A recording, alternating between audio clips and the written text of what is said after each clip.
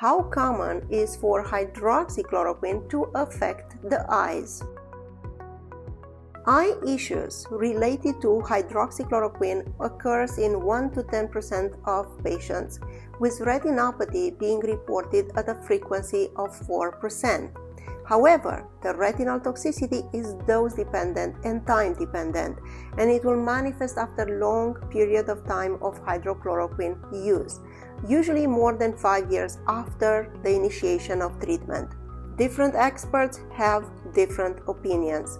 After an eye exam for baseline, when you start therapy, some experts will recommend annual eye exams, while others will recommend to follow up after the first five years with an annual exam.